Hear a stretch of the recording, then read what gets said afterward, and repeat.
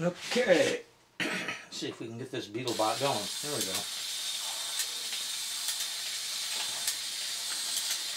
There you going. Well, what's the deal with that big gray one there? Well, the big gray one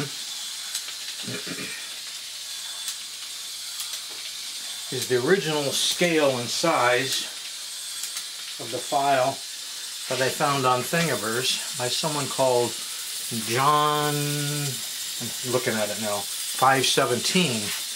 And he posted the, the build back in 2014, September 2014. So this is 22, so that's what, eight years ago. Let's uh, spin the camera around here. Hang on.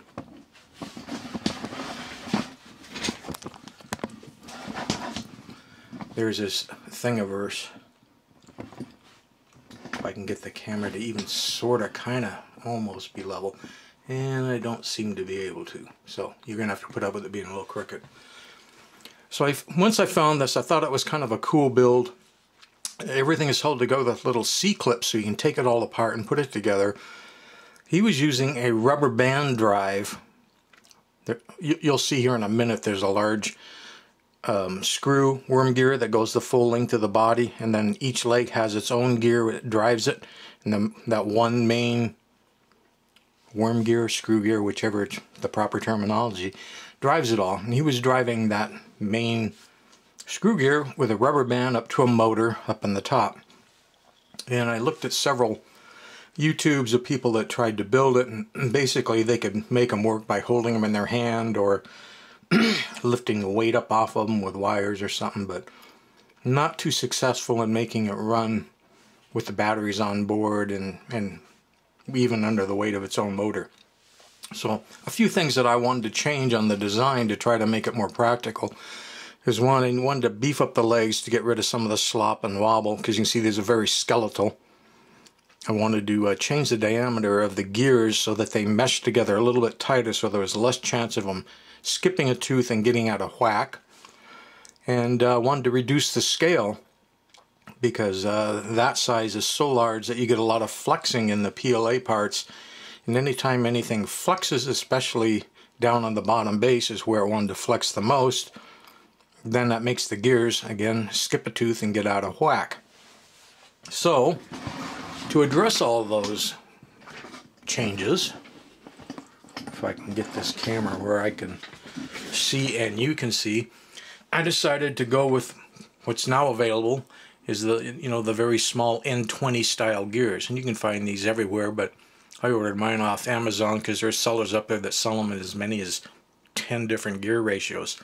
And I didn't know what gear ratio was going to be right for this project, so I actually ordered four or five, all in different gear ratios. And in the end, I found that the uh, 1000 RPM worked the best. You could even actually go a little faster than if you wanted. Now to reduce the number of parts and get rid of some of the flexing issues that this had. There were eight parts that comprised the base according to the original design. Although this base piece here I've already beefed up a little so would actually be a little bit more flimsy. But because there's so much cut away and such a small amount on either end, it could get flexing when the leg's attached and then that would make everything skip. In the original design you had a, a bearing block that went up here in the front. You had, um, let's turn this around, a bearing block that went up in the front like that. And this is the bearing block and motor that I holder that I made for the N20. Normally it would have looked just like that one. A bearing block in the back. And then you had the actual worm or screw drive, whichever you want to call it,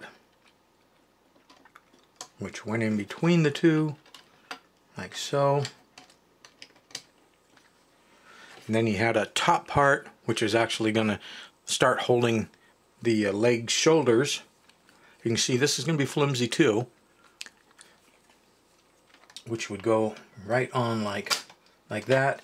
And then little C-clips that clip on these four posts would hold that all together as one piece. Well, by the time you count the clips and all those other parts, you've got eight parts there. I decided to reduce that down to one part. So basically, combined this part with the lower part, with the bearing housing, with the motor housing, all as one piece. Don't need the C-clips. The motor jams in like it, like the holder I've designed it to do. But in order to get this worm drive in there, since this isn't really a bearing block anymore, I'm directly driving it, the motor is holding it, I just notched notched the top of this piece open so that the uh, when you go to assemble it you could come along and just drop that right down into it and then insert the motor to make it one piece to simplify the build. Um, scaling it down you could easily run this thing off of uh, a couple of small lipo packs if you got the 6 volt N20 type motors or in my case, I ended up buying the 12 volt ones, so I could go in there with three or four little mini lipo packs and run the whole thing. This isn't going to be the build video. I will go ahead and I will do a build video. I just wanted to kind of cover what got me interested in the project, why I reduced the size of the project from, as you can see, it's a lot smaller.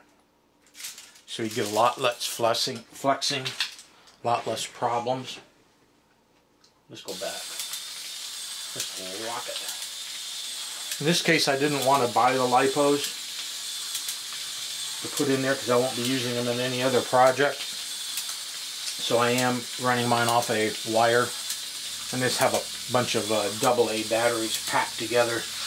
Give me my 12 volts so I could get the 1000 RPM out of the motor to see what the speed's like. So you see, it could even go faster. You could even go with a higher RPM motor. It Didn't have to be the 1000.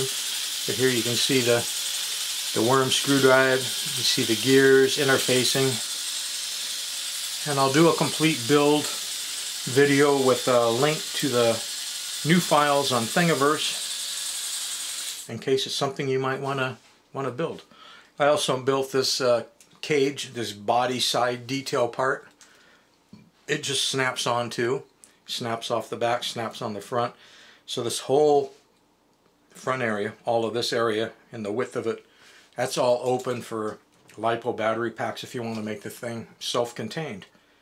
And um, because it's only got six legs, instead of calling it a roving spider, like the original designer did, I'm going to call mine uh, a beetle, a beetle bot, maybe the black beetle bot and um, we'll go from there.